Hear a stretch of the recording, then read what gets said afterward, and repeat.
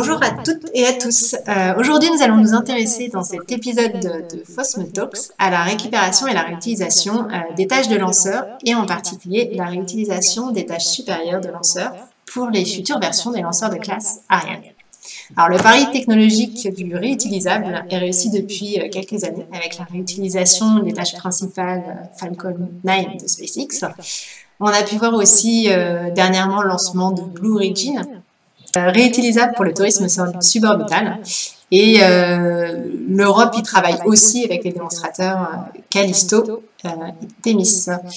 Et c'est dans ce contexte, en fait, que le CNES a lancé depuis début, de, début 2021 un challenge R&D autour du thème de la réutilisation des tâches supérieures d'un lanceur. Et le projet qui a remporté ce challenge est celui de l'équipe Boomerang. Et Frédéric va nous en parler aujourd'hui. Alors bonjour à tous. Euh, effectivement, euh, on a pu participer à ce challenge du CNES euh, sur la réutilisation de l'étage supérieur et notre projet a été sélectionné et financé donc pour poursuivre les études de ce concept. Très bien. Alors, tout d'abord, avant de, de, de, rentrer sur votre projet, est-ce que tu pourrais nous parler du euh, qu'est-ce qu'un premier étage euh, et, ou un étage supérieur C'est quoi la différence? De quoi on parle? Bah alors en fait les, les, fusées en fait elles sont découpées en plusieurs sections donc euh, avec euh, chacune un ou plusieurs moteurs en fait. Et donc à la base on a euh, l'étage principal, donc euh, qui est le plus gros, le plus puissant, qui va permettre euh, de pouvoir traverser les couches les plus denses de l'atmosphère rapidement. Et puis fixé par-dessus, donc on a un étage plus petit qui est l'étage supérieur et qui lui va vraiment atteindre l'orbite et donc propulser les satellites à la bonne vitesse pour pouvoir les larguer sur la bonne orbite et donc c'est euh, justement euh, sur euh, cet étage-là qu'on essaye de travailler en fait pour réussir à pouvoir le récupérer et le réutiliser par la suite. D'accord, merci. Et alors du coup, c'est quoi un lanceur réutilisable? Qu'est-ce qu'il y a derrière cette notion de réutilisabilité? Pardon. Ben, en fait, euh, c'est euh, contrairement aux, aux, fusées classiques euh, qui sont à usage unique, c'est des lanceurs qui peuvent être en totalité ou au moins en partie euh, réutilisés. Donc, euh, comme on on l'a vu depuis quelques années, par exemple avec SpaceX, qui font atterrir leur leur booster principal, donc près euh, du pas de tir ou euh, sur une barge en mer. Et donc en fait, euh, c'est la possibilité de pouvoir donc réutiliser des, des systèmes et des équipements qui existent déjà en fait, et sans devoir reconstruire une fusée de A à Z. Ok. Et alors, est-ce que la coiffe va être aussi conservable? Euh, ben, les coiffes, oui, ben, tout à fait. Euh, c'est euh, des, des, systèmes donc euh, de protection qui sont éjectés une fois qu'on qu'on atteint euh, l'espace, et donc c'est des, des, éléments aussi qui peuvent être réutilisés. Et encore une fois, SpaceX le fait. Ils utilisent notamment des, des bateaux pour les, les, les rattraper et les coiffes donc redescendent en fait tout simplement sous, sous, sous un grand parachute en fait et euh, on peut les, euh, les installer sur euh, une nouvelle fusée et lancer des nouveaux satellites avec. D'accord. Ok. Et alors, du coup, le réutilisable, pourquoi finalement? Pourquoi le, le bah, est si important aujourd'hui? Bah, Il y a quand même, c'est vrai qu'on voit beaucoup de, de, de, sujets autour de la réutilisation. Alors l'un des facteurs euh, principaux qui favorise justement le développement de tout euh, de tous ces lanceurs réutilisables, ben c'est de permettre de baisser le coût d'accès à l'orbite, justement en n'étant pas obligé de reconstruire une fusée entière à chaque fois. On économise euh, là-dessus parce qu'une fusée ça coûte très cher à construire euh, je pense notamment au, au, moteur, qui est sans doute une des parties les plus les plus complexes et, et les plus euh, et les plus coûteuses.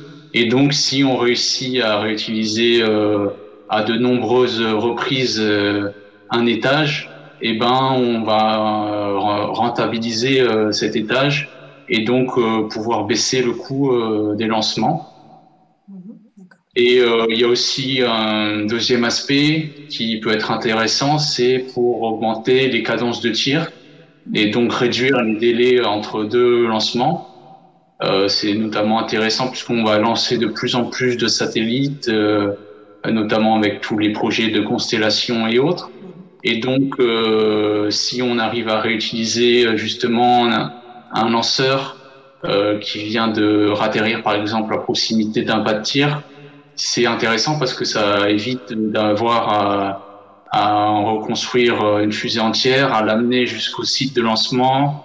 Et euh, tout ça prend beaucoup de temps. Et là, euh, il suffit euh, de remettre en état et de, de refaire le plein et on peut l'utiliser à nouveau assez, assez rapidement. Donc, c'est aussi un avantage de ce côté-là.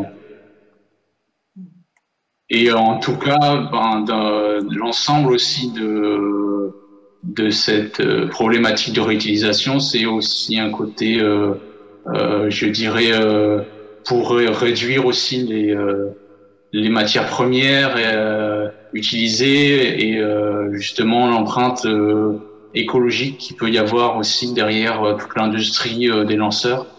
Mhm. C'est aussi quelque chose qui, qui est positif de ce point de vue-là. Euh, et, alors, comment ça s'inscrit dans la politique du CNES et de ses futurs lanceurs, euh, la réutilisabilité? Euh, ben, Pour coup, euh, le CNES travaille déjà depuis de nombreuses années donc, sur les, futures évolutions des lanceurs européens, donc de la famille Ariane, donc avec Ariane 6 qui, qui va arriver prochainement. Et il y a déjà des, des études pour les, les évolutions futures. Et donc la réutilisation euh, des étages euh, inférieurs ou supérieurs euh, est inscrite vraiment dans les axes de développement justement de ces futurs lanceurs. Mhm. Et c'est quelque chose qui est vraiment étudié aujourd'hui, notamment avec des, des démonstrateurs comme Temis ou Callisto. Et on peut le voir aussi que le CNEST euh, développe euh, toute une dynamique euh, justement d'innovation et de technologie de rupture pour essayer de favoriser justement l'évolution des, lanceurs, par exemple avec ArianeWorks, qui est un groupe de travail donc entre Ariane Group et le CNES et qui justement vise à développer ces technologies pour pouvoir les appliquer dans les prochaines euh, évolutions euh, des lanceurs européens. Ouais. Et d'ailleurs, le, CNES fait la, différence entre une approche euh, spatio-centrée et une approche géocentrée dans, son, dans son challenge R&D. Et alors, est-ce que tu peux nous expliquer un petit peu c'est quoi les différences? Alors pour le coup, oui, effectivement, dans la réutilisation, ce qu'on voit et ce qu'on pense en premier lieu, c'est ce qu'on appelle l'approche géocentrée, donc euh, le fait de récupérer euh, un étage euh, ou des éléments de la fusée et de les remettre en place pour refaire de nouveaux lancements avec. Mais aussi, il y a des possibilités de d'utiliser autrement en fait les étages qui sont déjà sur orbite une fois qu'ils ont euh, accompli leur mission euh, principale, donc euh, qu'ils sont largués de leur charge utile, quels services ils peuvent rendre aussi là-haut dessus de nos têtes. Et donc, c'est aussi tout un pan de la réutilisation qui est à étudier. Et il y a beaucoup de possibilités de missions de service, comme la capture de débris de la désorbitation, des missions de ravitaillement ou de maintenance de satellites, mais ça peut être aussi euh, pour euh, servir de plateforme à des expériences scientifiques ou pour des systèmes de télécommunication. Donc il y a aussi beaucoup de possibilités de ce côté-là. D'accord. Et, euh, et, du coup, Boomerang, l'équipe Boomerang a choisi quelle approche? C'est quoi votre, techno et est-ce que tu peux nous décrire un peu les, les, avantages, les inconvénients par rapport à, à d'autres technos en particulier? Alors pour le coup, bah, nous, euh, au tout début de, de, notre phase de réflexion, on a un peu étudié ces deux, ces deux aspects-là de, de la réutilisation et on s'est euh, donc orienté vers euh, la récupération euh, de, de l'étage supérieur. Et donc, on a développé tout un concept autour de ça parce qu'il y a de, de, nombreux défis à, à, relever en fait pour réussir à récupérer un étage supérieur qui sont différents ou plus plus compliqués en tout cas que ce qu'on peut voir jusqu'à maintenant avec euh, les étages principaux, parce que pour euh, tous les systèmes euh, embarqués à bord des fusées qui sont dédiés justement à la récupération. Euh, ont une, une, masse qui euh, pénalise les performances euh, du lanceur. Et c'est surtout vrai donc sur l'étage supérieur qui va jusqu'à l'orbite. Et euh, donc, il faut euh, un système qui soit euh, léger et compact. Et pour le coup, aussi, il faut prendre en compte la, la dynamique du vol de, de, ces, de, ces, de ces structures, en fait, parce que pour le coup, les, les étages supérieurs, pour pouvoir larguer leurs satellites, eh ben, ils vont à des vitesses très élevées, donc plus de 27 000 km heure. Et donc, il faut pouvoir réussir à gérer euh, toute cette énergie euh, au retour. Donc, euh, dans notre cas, euh, pour répondre à toutes ces contraintes et cette problématique, on s'est intéressé à des à tout un concept euh, utilisant des systèmes déployables ou gonflables, donc qui vont permettre d'être à la fois compacts et légers. Alors pour le coup, on a dans un premier temps un, un bouclier thermique gonflable qui, euh, qui de, de, forme conique, qui pour le coup va assurer donc la protection thermique euh, de, de, la structure de l'étage durant la rentrée atmosphérique. Et euh, il va aussi avoir euh, l'utilisation euh, d'un baliout.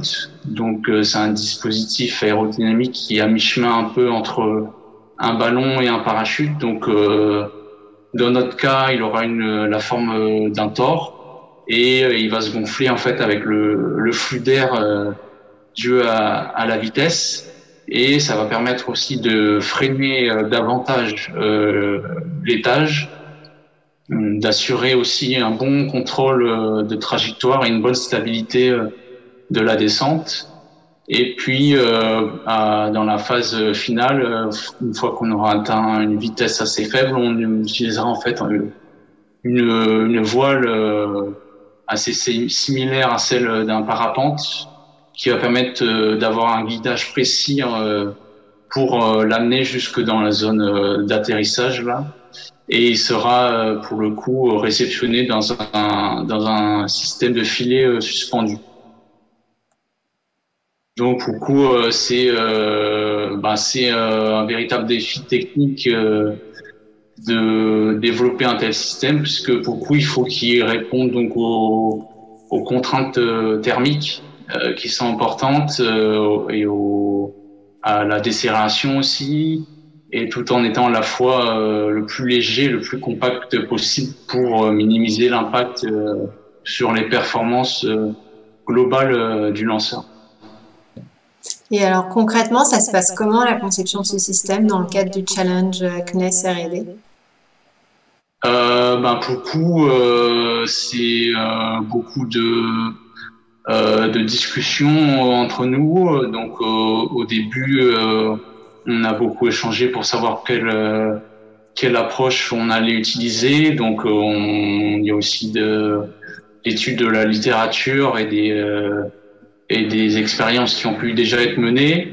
Et puis là, on est dans, dans une phase maintenant le le design général est, est, euh, est figé, donc on, se concentre plus euh, sur euh, la partie qui concerne justement le, le, contrôle de trajectoire et, la, et s'assurer que tous les éléments permettent de, de, freiner suffisamment tout en résistant à la chaleur Donc, il y a, on organise donc des sessions de travail entre nous, des, des, réunions de suivi pour gérer un petit peu les tâches et tout ça. Et donc, beaucoup, on utilise aussi les, les, outils informatiques qu'on a à disposition donc avec euh, Fédération pour échanger euh, des documents, euh, partager des infos et dialoguer entre nous. donc assez, on fait ça assez régulièrement et pour le coup, ça nous permet de, bien progresser et de pas perdre le fil. Et votre roadmap ou les, les livrables que vous allez devoir dans le cadre du challenge R&D que vous allez euh, du coup livrer alors pour le coup, euh, le, contrat qu'on a signé avec le CNES, ça s'étale jusqu'en novembre 2022 mhm. et euh, où on devra donc rendre toute toute notre étude. Et donc pour le coup, c'est divisé en plusieurs parties. en ce moment, par exemple, on on attaque une, une grosse partie qui concerne donc euh, tout ce qui va être euh, simulation numérique en fait. Donc le but c'est de, de valider le concept euh, et de comprendre vraiment le comportement de de l'étage et de tous les dispositifs utilisés au cours de la rentrée atmosphérique. Donc, euh, beaucoup parce qu'on va traverser euh, toutes les couches de l'atmosphère et on va traverser différents euh, régimes de vol, euh, que ce soit hypersonique, supersonique ou subsonique. Donc, il y a beaucoup de, de simulations numériques de ce côté-là à, à, mettre en place pour valider en fait le, le design et la faisabilité du concept. D'accord, 2022 alors. ça, voilà, l'objectif. Ok, et eh ben, écoute, parfait. Euh, je te propose d'en terminer là. Euh, et bah, du coup, on attend avec impatience euh, le résultat de votre projet. Et merci pour toutes ces infos. Et, du coup, à bientôt dans un prochain épisode de, de Talks. Merci à toi. À bientôt.